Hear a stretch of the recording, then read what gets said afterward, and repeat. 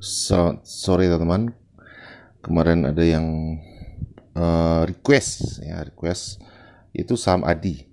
Uh, kemudian ada saham Demas juga, uh, terus APLN dan Aces ya. Jadi ada empat saham yang di request salah satu teman kita. Kita bahas satu persatu ya. Jadi saham Adi ini adalah saham uh, infrastruktur ya teman. Ini perusahaan plat merah ya. Uh, di sini teman-teman bisa lihat uh, komposisi uh, shareholdernya itu negara Republik Indonesia sebanyak 63 persen ya.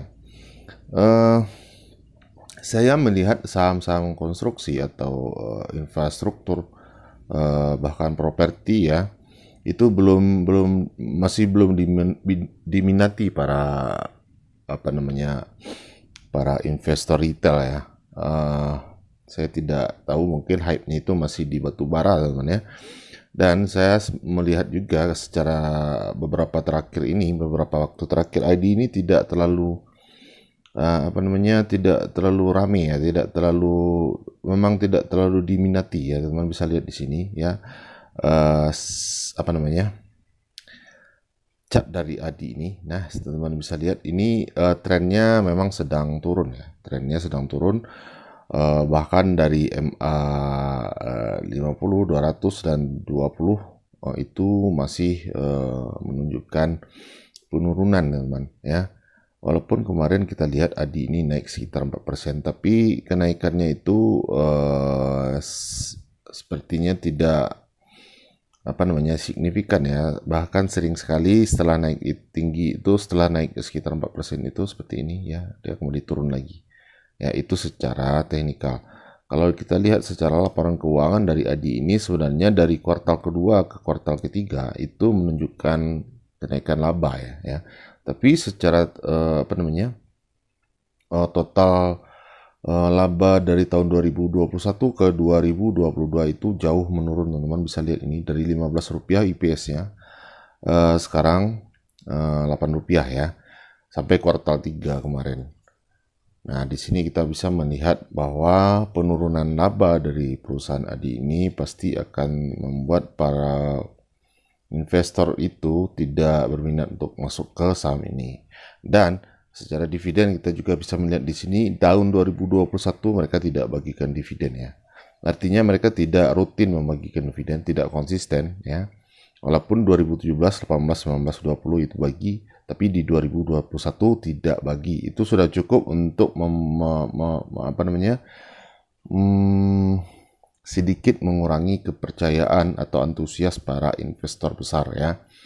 Uh, bahkan investor retail juga oke itu untuk Ardi tapi saya di sini uh, apa namanya ya, menganalisa secara tidak terlalu dalam ya karena ekuitas dari Ardi ini tidak saya lihat sebelumnya apakah ada peningkatan atau tidak saya hanya melihat di uh, RTI RTI bisnis saja ya.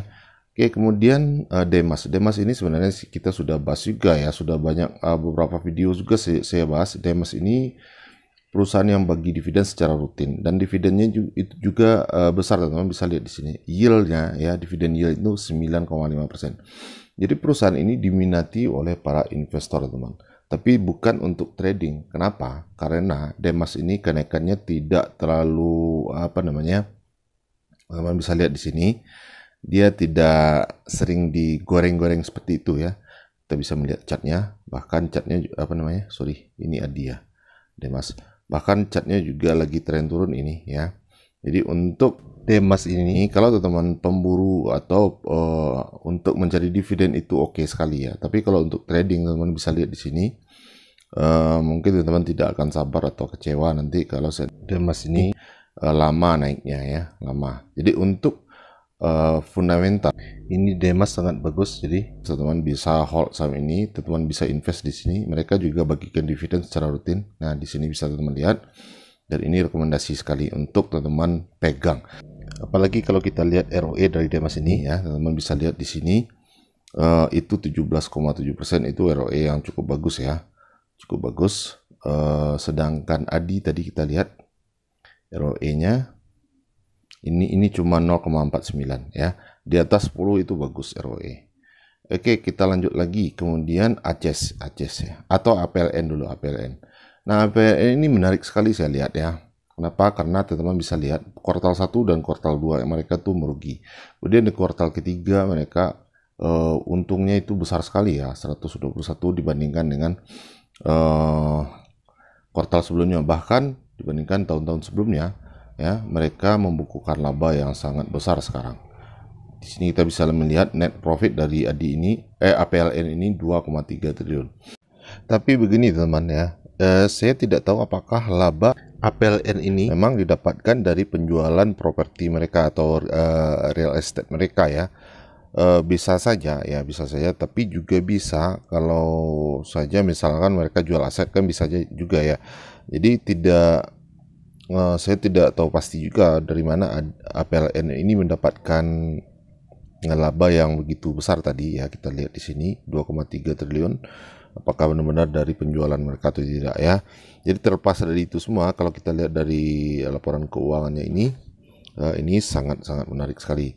Kemudian kita lihat juga di sini tahun 2017 ya, mereka juga sempat bagikan dividen walaupun setelah itu tidak ada lagi. Ini sebenarnya satu catatan yang uh, yang bisa teman-teman uh, pegang ya karena ini berarti mereka tidak konsisten bagi dividen.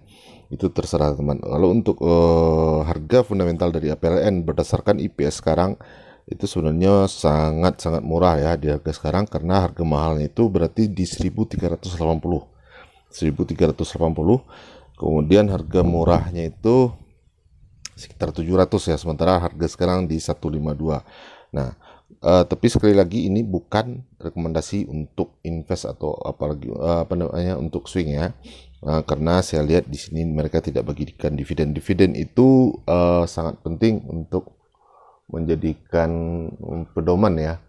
Saya menyarankan teman-teman kalau perusahaan itu tidak bagikan dividen ya secara rutin, teman-teman jangan invest di situ. Karena dividen itu juga uh, alat alat bukti ya bahwa mereka memang benar-benar uh, punya laba, punya uang.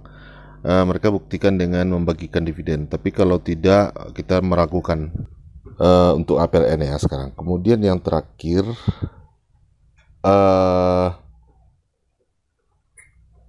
yang terakhir Aceh ya teman Aceh.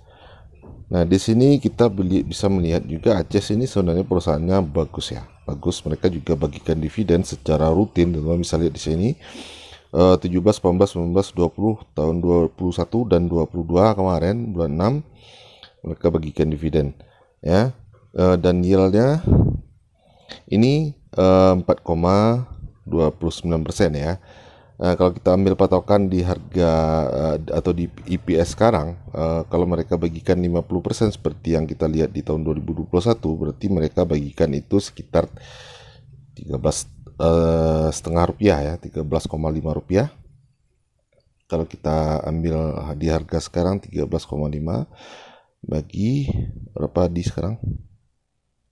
eh Aceh ya uh, 480 ya bagi 480 uh, itu sangat kecil sekali ya cuma 2% teman-teman ya jadi uh, untuk apa namanya untuk mengharapkan dividen di Aceh ini uh, menurut saya juga tidak terlalu besar ya kalau teman-teman masuk sekarang misalnya kita ambil patokan 50% saja teman-teman ya cuma mendapatkan 2% Uh, kenapa? Karena ini harga sudah ketinggian teman ya. Harga ini sudah terlalu tinggi. Kalau seandainya harganya masih di harga fundamentalnya yaitu 270 ya, uh, kemungkinan ya teman pasti akan mendapatkan dividen yang besar ya. Karena 13,5 kita bagi 270 itu teman-teman mendapatkan 5% dari di dividennya ya. Sementara sekarang karena harganya sudah kemahalan uh, tentu saja uh, dividennya menjadi kecil ya tapi secara fundamental ini perusahaan bagus mereka selalu membukukan laba secara konsisten uh, tidak terlalu naik juga sih sebenarnya tapi mereka konsisten ya Oke begitu saja informasi singkat ini. Kalau ada pertanyaan atau request saham yang mau dibahas silahkan komentar saja di kolom komentar. Nanti kita diskusikan uh, bersama-sama. Uh, selamat sore dan uh, selamat beristirahat